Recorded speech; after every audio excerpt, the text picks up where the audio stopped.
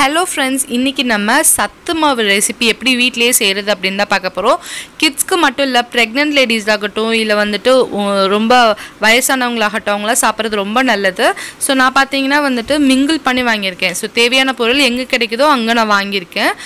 So ஒவ்வொன்றும் ஒவ்வொரு கடையில் தான் இருக்கும். பட் ஆனால் வந்துட்டு நமக்கு தேவையான கிராம்ஸில் நமக்கு கிடைக்கணும். சில இது சூப்பர் மார்க்கெட்டில் கிடைக்கும் சில இது வந்துட்டு பார்த்தீங்கன்னா அண்ணாச்சி கடையில் கிடைக்கும்.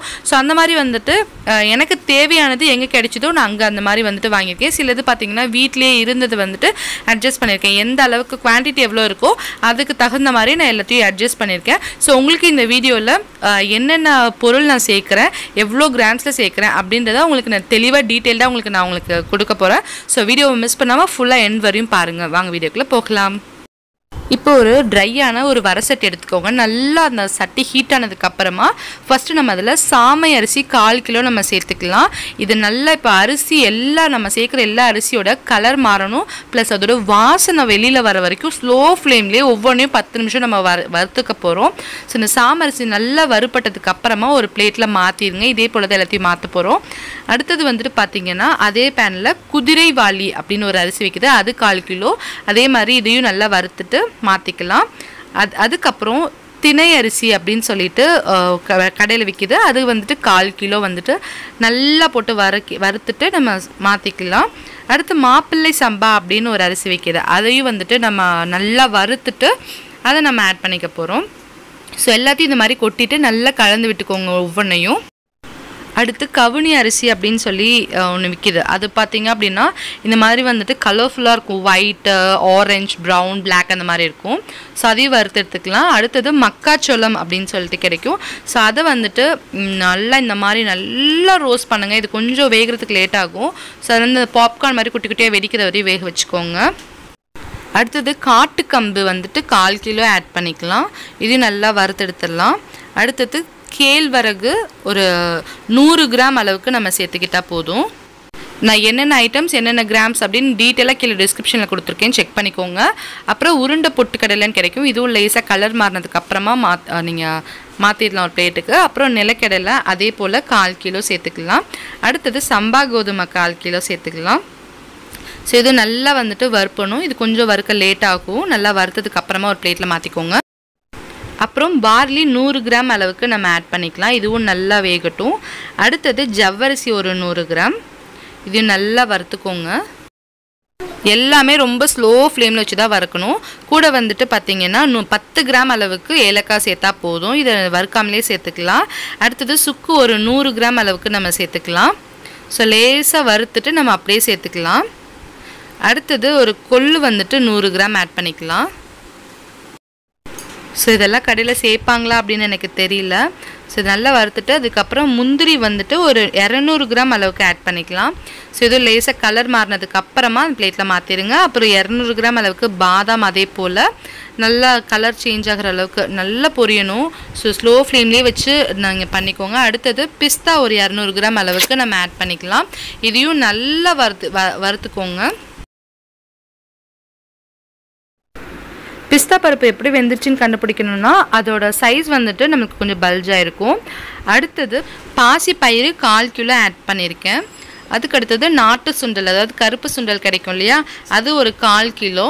ஸோ இதுவும் அதே மாதிரி தான் நல்லா வறுத்துக்கோங்க. அடுத்தது சோளம் ஒரு நூறு கிராம் அளவுக்கு ஆட் பண்ணிக்கலாம். இதை நல்லா வறுத்துக்கிட்டு இதையும் பிளேட்டில் மாற்றிடுங்க அப்புறம் தட்டைப்பயிறு ஒரு நூறு கிராம். இதையும் நல்லா வறுத்து சேர்த்துக்கலாம். பச்சை பட்டாணி ஒரு நூறு கிராம் சேர்த்துக்கிறேன்.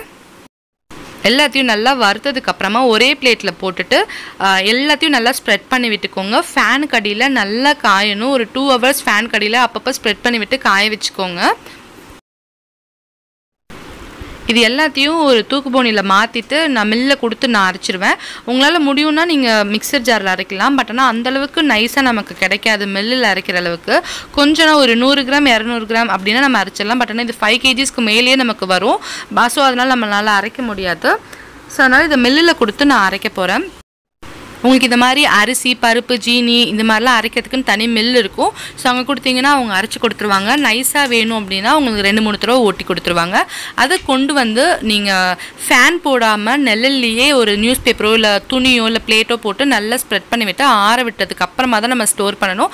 ஆறாமல் ஸ்டோர் பண்ணோம் அப்படின்னா அது வந்துட்டு கெட்டி கெட்டிக்கும். இது எப்படி செய்கிறது அப்படின்றத உங்களுக்கு நான் செஞ்சு காட்டுறேன்.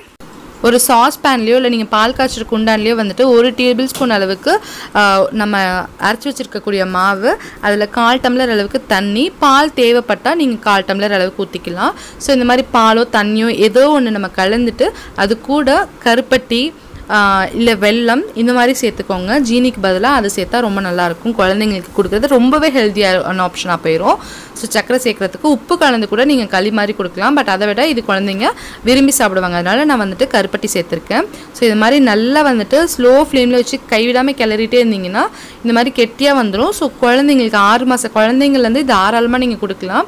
அவங்க வந்துட்டு விரும்பியும் சாப்பிடுவாங்க. செர்லாக் மாதிரி இருக்கும். சாப்பிட்றதுக்கு வலுவலுன்னு இருக்கும். சூப்பராக இருக்கும். ஸோ இதை வந்துட்டு நீங்கள் குழந்தைங்களுக்கு கொடுக்கலாம் இந்த மாதிரி. பெரியவங்கெல்லாம் இந்த மாதிரி சாப்பிட்றதுக்கு விரும்ப மாட்டாங்க. ஸோ அவங்க வந்துட்டு பால் மாதிரி குடிச்சிக்கிறதுக்கு கஞ்சி மாதிரி குடிச்சிக்கிறதுக்கு ஈஸியாக ஒரு வழி இருக்குது அது எப்படின்னு பார்க்கலாம். நான் அதே இதில் உங்களுக்கு செஞ்சு காட்டுறேன். ஒரு டேபிள் ஸ்பூன் அளவுக்கு நம்ம அரைச்சி வச்சிருக்கக்கூடிய பவுடர் எடுத்து அதில் வந்து நீங்கள் கால் டம்ளர் அளவுக்கு தண்ணி அரை டம்ளரோ இல்லை முக்கால் டம்ளரோ பால் நமக்கு எவ்வளோ தேவையோ அதுக்கு தகுந்த மாதிரி ஊற்றி அட்ஜஸ்ட் பண்ணிவிட்டு சுகர் இல்லை அதே போல் நாட்டு சர்க்கரையோ இல்லை வ கருப்பட்டியோ இந்த மாதிரி உங்களுக்கு எது பிடிக்குமோ அதை வந்துட்டு ஆட் பண்ணிக்கலாம். ஹெல்த்தியான ஆப்ஷனாக இருக்கும். இல்லை நீங்கள் உப்பு போட்டு கஞ்சி மாதிரி குடிக்கணும்னாலும் நல்லாயிருக்கும் ஸோ இது மாதிரி போடும்போது நமக்கு ஒரு ஈவினிங்கில் காஃபி டீக்கு பதிலாக இந்த மாதிரி நம்ம குடிச்சிக்கலாம். கொ- கொஞ்சம் வந்துட்டு லேசாக வந்துட்டு திக்காக இந்த மாதிரி கொஞ்சம் லைட்டாக போரிச் மாதிரி அதாவது கஞ்ச ஸ்டேஜுக்கு வந்ததுக்கு அப்புறமா இது நம்ம ஒரு கப்பில் மாற்றிட்டு நம்ம சர்வ் பண்ணலாம். ஸோ இது வந்துட்டு பெரியவங்க வந்துட்டு ஈஸியாக குடிப்பாங்க.